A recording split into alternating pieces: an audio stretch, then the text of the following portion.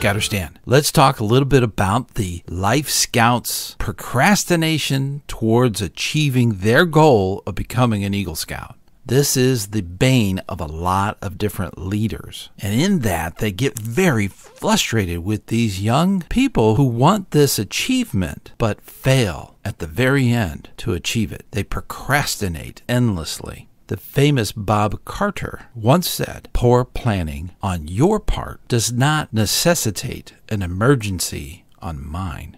So, young people who don't plan are planning to fail. And we need, as adult leaders, to help them plan. Make that plan to achieve the goal. And time management is the very first step towards mentoring a Life Scout to their goal of becoming an Eagle Scout. As an advancement chair for my local district, I am absolutely stunned by that last minute rush before their 18th birthday. And I often think to myself, how long have they known that they were going to turn 18? It's been many years. Why didn't they get things done? And it all falls back on time management. Now, many youth today assume that they will be given some kind of second chance. Although we know as adults, time never forgives.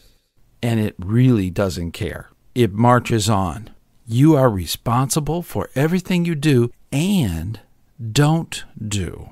And that's what happens within your life. Be prepared means more when you teach young people good skills on time management. And it can be a very hard lesson to learn when you're young but I guarantee you it's even harder when you're older. Time management is a critical part of scouting. It's a scouting skill, and it's just not taught in schoolrooms. A lot of times, assignments are given at school with a time limit, but it's very short term. It's not long range. Now, quite literally, young people are being pulled in every direction you can imagine, whether it be school, band, sports, karate, you name it. There's so many other things going on in that young person's life, demanding valuable time. Now, setting up a reminder will help focus that limited time they actually have. Reminders could be anything from a poster to a, a daily message, a daily text. These are things to keep them thinking of that goal and doing the things that are needed in a timely manner.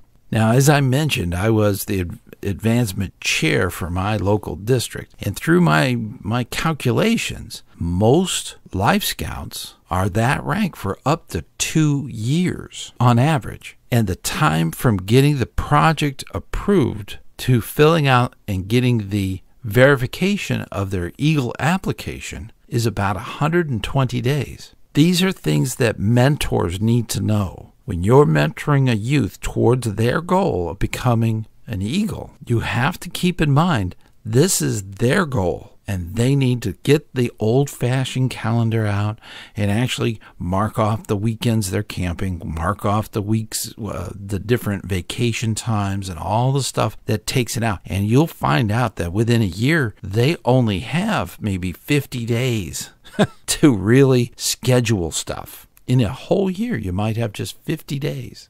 And it's not continuous, it could be split apart by weeks at a time. So you really have to think ahead. You need to consider all of the requirements way before they are actually due. Time management is a skill, a valuable skill that a lot of employers really need. And this is a skill that will make them very successful in later on education, managing their career, and achieving their goals way into the future.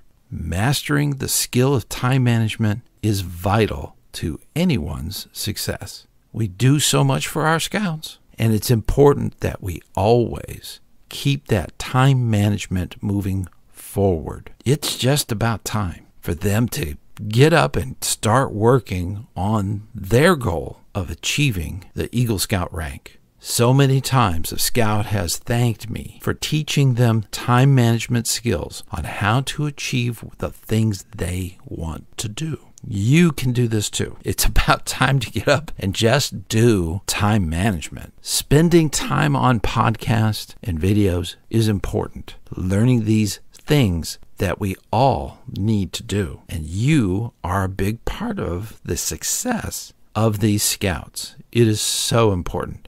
And I am so grateful for the time you spend working with your scouts to achieve something really great. Until next time, I'll see you on the trail.